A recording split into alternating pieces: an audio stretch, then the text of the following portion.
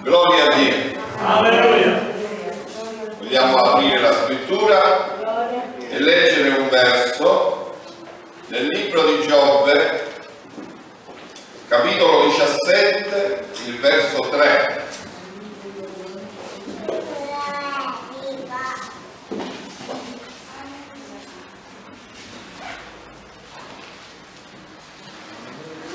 Libro di Giobbe, capitolo 17, verso 3.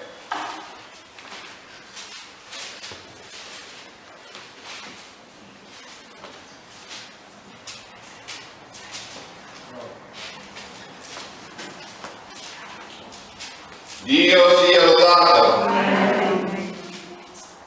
Oh Dio, dai impegno. Sii tu il mio mallevatore presso di te. Se no, chi metterà la sua nella mia mano? Amen. Gloria al Signore per la sua santa parola che noi abbiamo leggere, meditare, assimilare e custodire. Ci sono alcuni che hanno familiarità con la scrittura e questa familiarità che hanno acquisito li porta a scegliere i passi. Quello che devo leggere e quello che non leggo quello che mi può rallegrare e quello che mi rattrista. E così molti, secondo il proprio criterio, utilizzano la scrittura e si privano di certe rivelazioni che Dio dà, perché la parola è una benedizione per chi la riceve interamente, integralmente, per chi la riceve tutta, perché ogni scrittura è ispirata da Dio ed è utile per insegnare, utile a formare i figli del Signore. Crediamo in questo? Benedetto il nome del Signore. E così Giobbe è uno di quei personaggi che ne ha passati tanti nella vita che quando qualcuno apre il libro di Giobbe in fretta cambia. E invece il libro di Giobbe è una benedizione per ognuno che vuole servire il Signore, è una benedizione per la Chiesa, come mi ripeto, tutta la parola. Quello che ha vissuto Giobbe viene vissuto ancora oggi. Chi più e chi meno fa le medesime esperienze. Perché poi, fratelli, lo stato d'animo umano arriva a essere saturo di afflizione, di amarezze, di perplessità. E c'è chi soccombe per poco, chi resiste di più e viene meno, ma c'è anche chi soffre, continua a soffrire e resiste perché non confida in se stesso, non confida negli altri, ma confida nel Signore. Il segreto della buona riuscita della nostra vita per arrivare a destinazione, per ultimare la nostra esistenza nel migliore dei modi è legarci a Dio. Accada quel che accada, qualunque cosa avvenga nella nostra vita, non distacchiamoci mai dal Signore. E questa è una peculiarità di Giobbe, una sua caratteristica che lui ha evidenziato nei suoi sfoghi, ma che Dio ha riconosciuto in lui come un uomo che lo ha amato e che lo ha servito un uomo dall'animo sincero, dall'animo legato al Creatore. Fratelli, se la nostra mente ci vuole portare a fare chissà quali pensieri, si parlava di depressione e quindi di pessimismo, di decadenza, per poi cercare delle soluzioni che non faranno altro che peggiorare quella preesistente. Se l'uomo si abbandona a questi pensieri, naufragherà. Ma la Bibbia ci esorta a dominare i nostri pensieri, ad avere i fianchi della nostra mente cinti, cioè a sapere controllare la mente. Fratelli, l'elaborazione mentale ci può portare lontano sia in positivo che in negativo e noi non dobbiamo soccombere alle situazioni della vita e neanche dobbiamo soccombere ai pensieri che la nostra mente formula dobbiamo essere ancorati a Dio. Ci sono situazioni oggettivamente difficili, veramente tristi, situazioni che non hanno all'orizzonte la via d'uscita, la soluzione. Ma come dicevo, se noi siamo ancorati a Dio, noi siamo legati a colui che può cambiare le cose, a colui fare l'impossibile, a colui che è il datore della vita, che è il creatore di tutte le cose e che quindi può trasformare ogni circostanza. Noi siamo persone che credono in Dio e la nostra fede non deve mai venire meno. Tante volte a complicare le cose non bastano le situazioni, ma si presentano anche delle persone e queste persone inizialmente si accostano, si avvicinano con buone intenzioni con un buon intento, per fare del bene. Ma siccome nell'uomo, fratelli, non abita alcun bene, il bene che l'uomo può esprimere lo esprimerà se è guidato da Dio.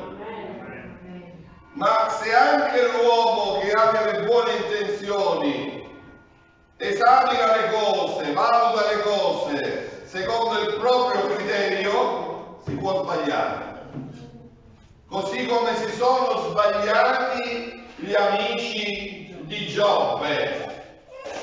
Erano partiti da lontano, abitavano questi tre amici in tre località diverse, ma evidentemente si conoscevano fra loro perché hanno concordato, avendo sentito parlare delle disgrazie che hanno colpito la famiglia di Giobbe, di andarlo a consolare. E dice che hanno fatto un lungo cammino e quando sono arrivati da lontano lo vedevano, la, loro, la condizione di Giobbe appariva pietosa, appariva veramente eh, da lasciare stupiti, attoniti e dice che per sette giorni e sette notti non hanno aperto la bocca. Sarebbe stato meglio continuare nel silenzio. Amen. Perché la presenza silenziosa può essere solidale. La presenza tacita può essere un conforto.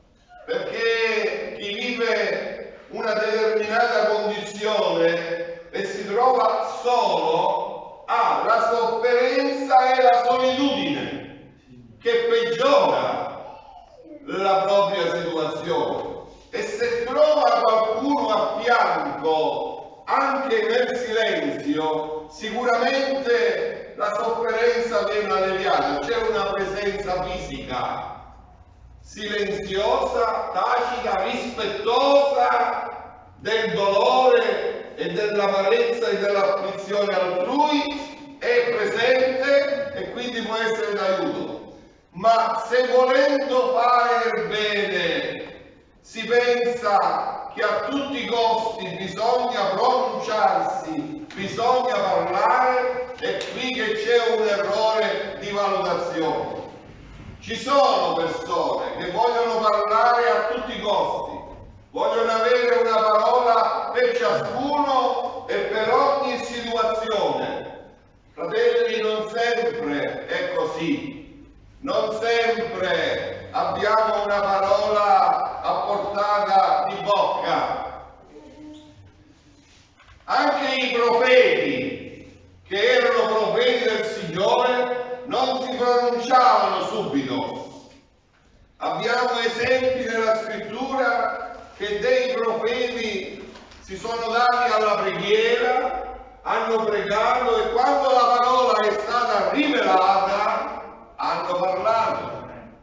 C'è chi ha aspettato anche diversi giorni, ma quando la parola è stata proferita era una parola rivelata, una parola di rivelazione divina, una parola che poteva istruire, poteva orientare, poteva dare giusto consiglio e comunque quello che serviva alla persona, che veniva da parte di Dio.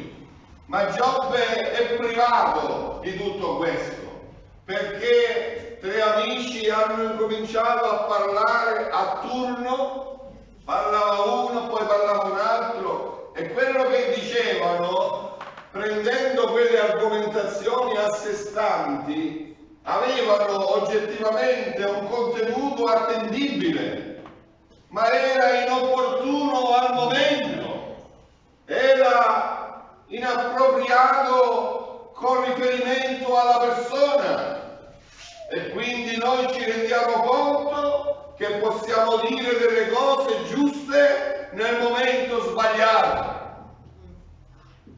Possiamo dire delle cose giuste alla persona che in quel momento non ha bisogno quella parola, ma ne ha bisogno un'altra.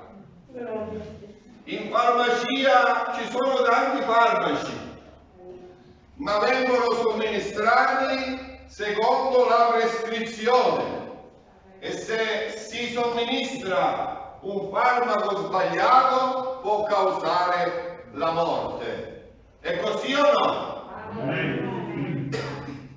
E anche le parole sono di vita e possono essere anche mortali, possono apportare un beneficio e possono apportare un'ulteriore sofferenza, un peggioramento della situazione.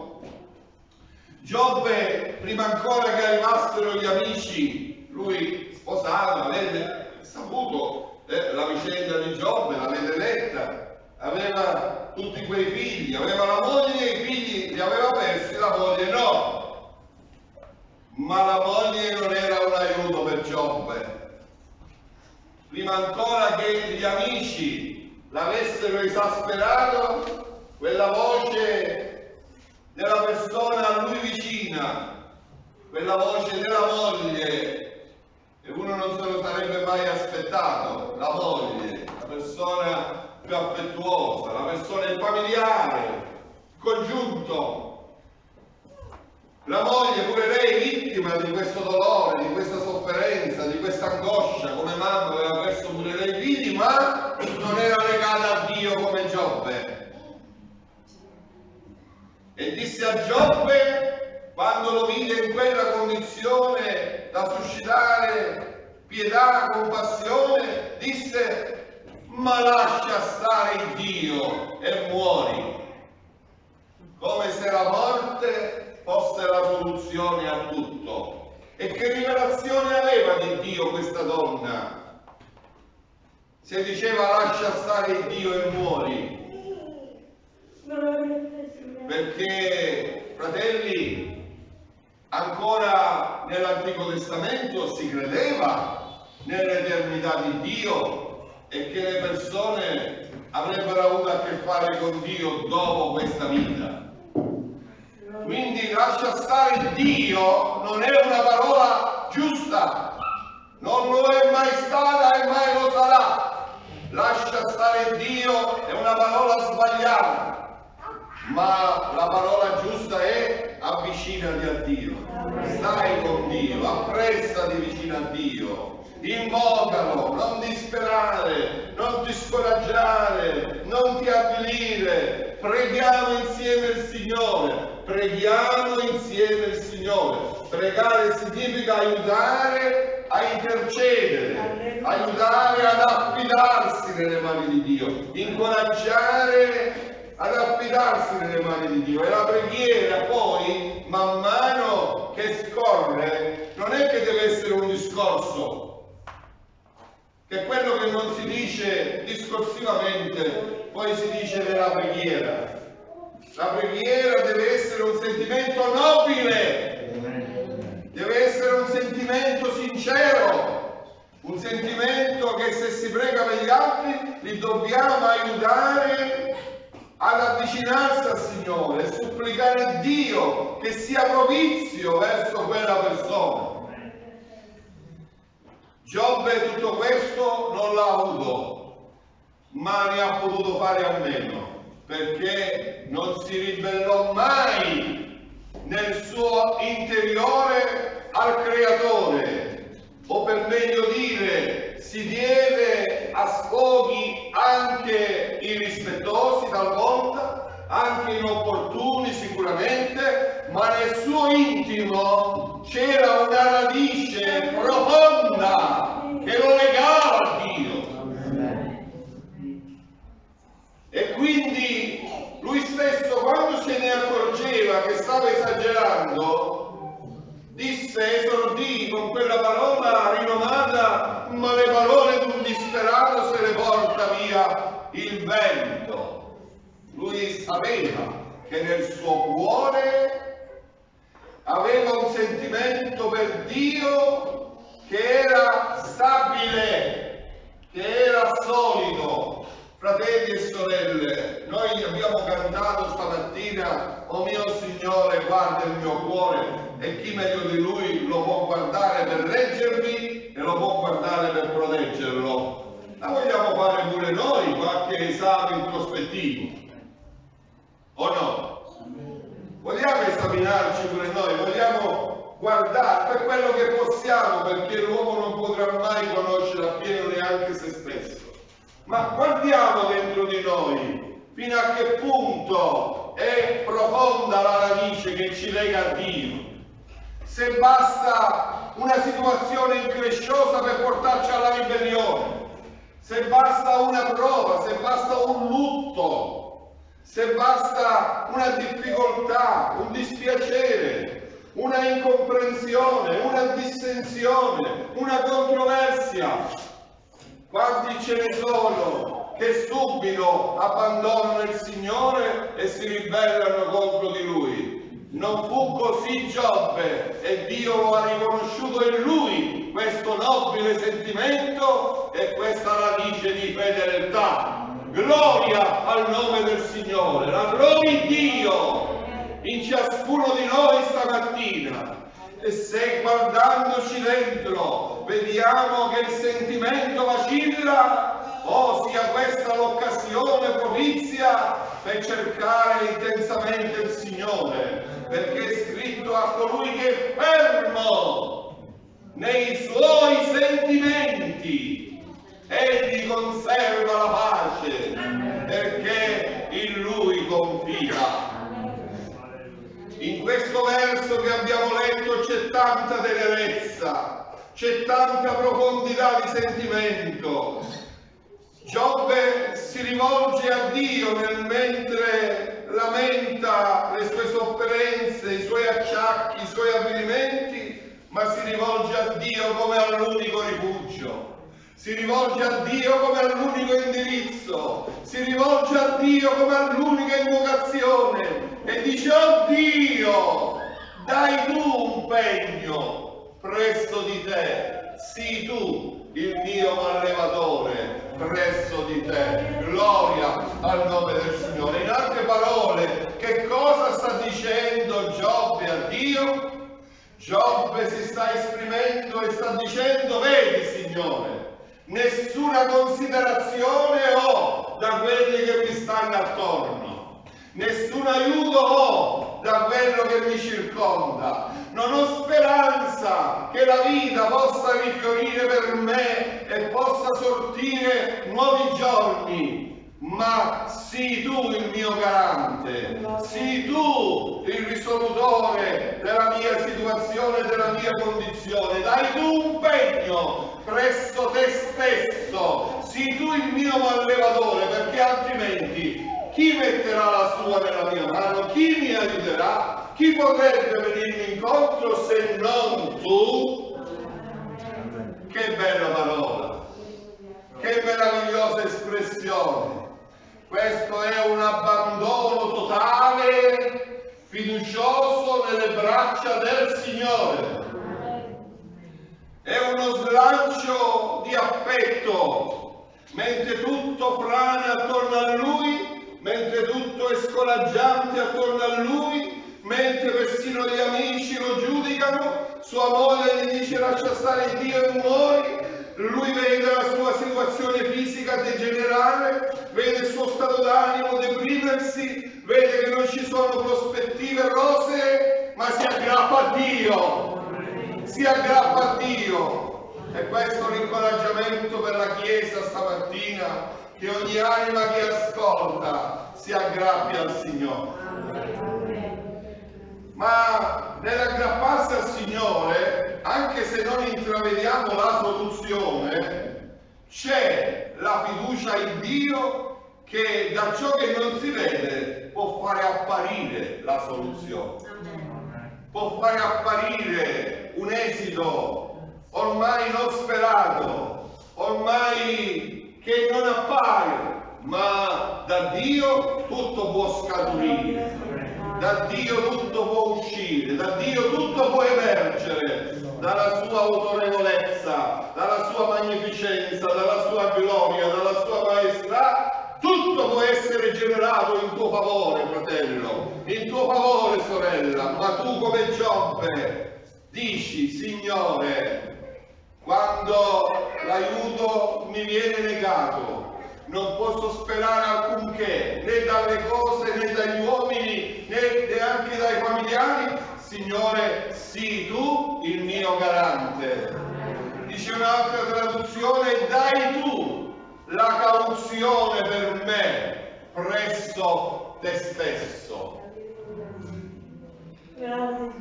Gloria al Signore. Fratelli, Giobbe in questa esternazione probabilmente senza rendersene neanche conto, sta profetizzando di una grande verità, sta profetizzando di una grande rivelazione che sarebbe stata a beneficio dell'intera umanità attraverso la predicazione dell'Evangelo. Che Dio stesso sarebbe intervenuto divinamente per aiutare l'uomo. E il profeta dirà nel nome del Signore, pronunciando la parola profetica, io stesso verrò a salvarvi. Io stesso interverrò per il vostro bene. Quello che Giobbe chiede a Dio, che sia lui stesso il risolutore della sua situazione, che lui stesso presso di sé dia un pegno, dia una cauzione per la sua vita, per la sua esistenza, Dio questo lo ha fatto in una maniera eccellente, in una maniera inconfutabile, in una maniera chiara, attraverso il dono del suo amato figlio Gesù Cristo, quale Salvatore del mondo. Vi è un solo Dio e anche un solo mediatore tra Dio e gli uomini, Gesù Cristo. Dio stesso ha provveduto un Salvatore dal cielo. Amen. Il Salvatore è venuto dal cielo. La tua salvezza non viene dai tuoi familiari, la tua salvezza non viene dai tuoi amici, la tua salvezza viene da Dio stesso che ti ha creato. E perciò è bene che la creatura si rivolga al creatore e che faccia questa preghiera. Oh Dio, paga tu, intervieni tu, dai tu un pegno, dai il mio riscatto presso di te. E qui, fratelli, che c'è questa chiara rivelazione, perché tutto avviene da Dio, presso Dio, in una maniera divina, in una maniera soprannaturale, però in aiuto all'uomo. Benedetto il nome del Signore. Quando i tuoi amici finirono di parlare, Giobbe fece le sue esternazioni e poi intervenne una quarta persona, di nome Eliù. Ebbene, quest'uomo non parlò come gli altri, ma parlò in maniera pesante, in maniera forte, in maniera incisiva, però era un parlare che costruiva, un parlare chiarificatore, un parlare di benedizione. E tra i passaggi della discussione, della conversazione, delle esternazioni di Eliù ci fu questa, che se l'uomo arriva ad una condizione, ma presso di lui vi è un angelo che gli parli nella maniera adeguata, che gli parli nella maniera giusta, allora Dio dice, queste sono le parole di Eliù, Dio dice ho trovato il suo riscatto. Amen. Gloria al nome del Signore. E quindi ecco la soluzione è a portata di mano. La soluzione c'è. Niente la poteva fare intravedere, Trovato il suo riscatto. Nel Salmo 49 c'è scritto che il prezzo dell'anima dell'uomo è troppo caro e nessuno lo potrà riscattare perché sarà sempre insufficiente.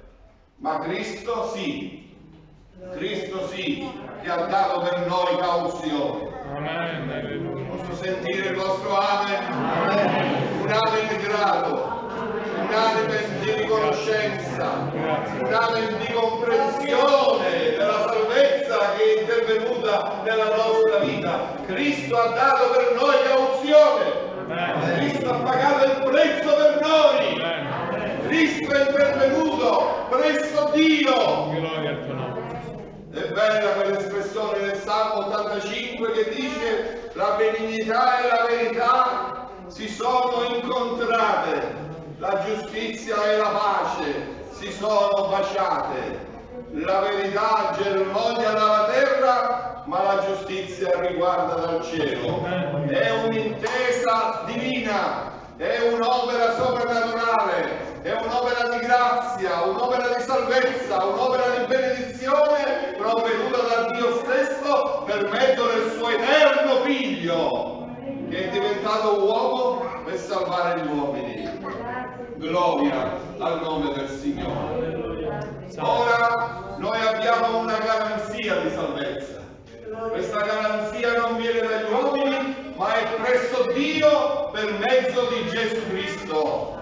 La preghiera di Giobbe è stata esaudita. La preghiera di chiunque cerca aiuto a Dio sarà esaudita, perché presso Dio c'è il riscatto assicurato, presso. Dio c'è un prezzo già pagato, c'è un pegno di garanzia, benedetto il nome del Signore. L'Apostolo Pietro dice in maniera chiara che non siamo stati comprati né con oro e neanche con argento, ma col prezioso sangue di Gesù. Amen. Fratelli e sorelle, voglia il nostro cuore esplodere di gratitudine, ma una riconoscenza che non sia soltanto verbale, ma che possa esprimersi anche attraverso una vita a Lui dedicata, a Lui consacrata, che non venga meno, accada qualche accada attorno a noi, dentro di noi, nel nostro corpo, qualunque cosa, non ci separi dall'amore di Dio